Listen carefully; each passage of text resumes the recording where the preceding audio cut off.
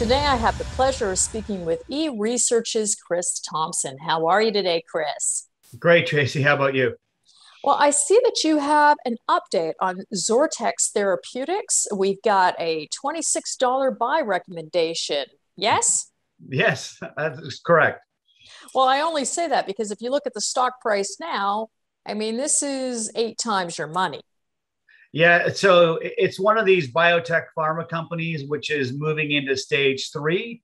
Uh, so revenue is a couple years down the road. Uh, you know, they're looking at potentially some revenue maybe in 2023, um, 2022. So that's why it's a little bit further. Uh, you know, a price target. It, there's a little risk involved as a stage three company.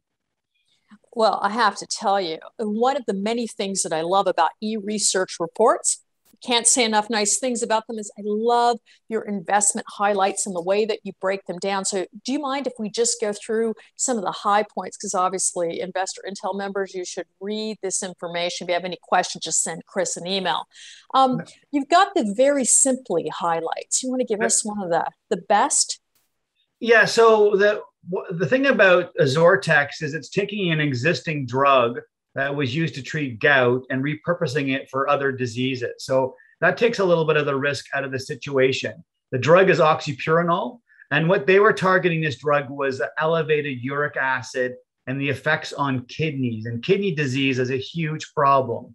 And so what they're going after is, is reusing this drug with a new formulation, and that's their intellectual property, but targeting you know high uric acids and the effect on kidneys. Well, that must be an absolutely huge market gout with all of us overweight.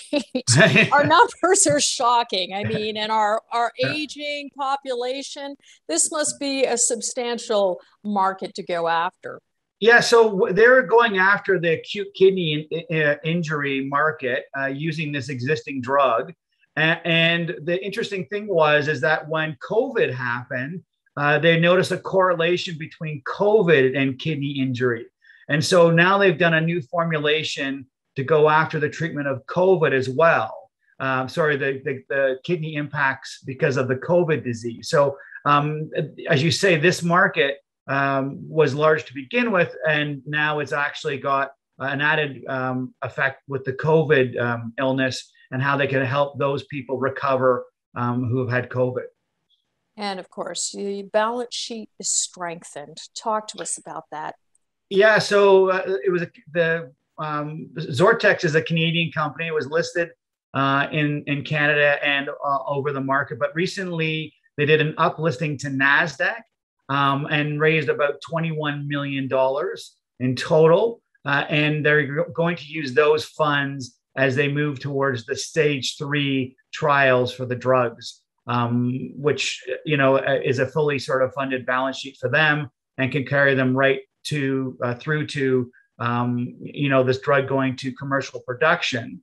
And, and, in this case, you know, XORTX will not be uh, the manufacturer, but they will contract.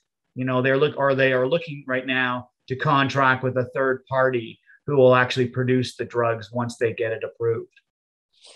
Well, one of the many things that I've noticed on this is they're both CSE and NASDAQ. Most companies are TSX, TSX and CS, uh, TSX and NASDAQ. Yeah. Can so I, yeah, any, yeah. They any just reason why they are they planning on maintaining that, or have they commented on that?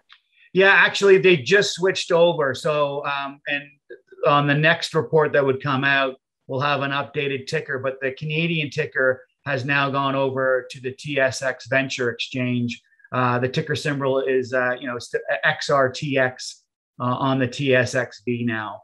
Um, and, they will have the two listings, both uh, the venture listing in, in Canada as well as the NASDAQ listing in the US.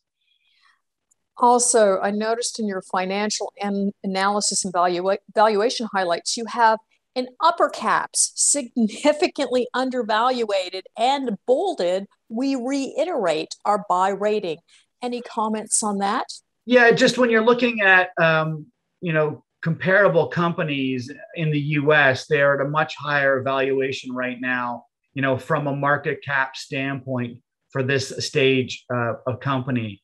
Uh, as I mentioned before, you know they have two drugs at stage three, Um, and so when you're looking at the market cap, you know, you're sub, you know, $50 million, of course, depending on what the, it's trading at today.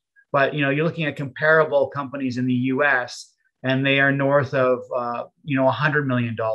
And that's partially why they did the US listing uh, was to get some more institutional investors from the US um, because they are undervalued and, and or in, in comparison uh, to their competitors.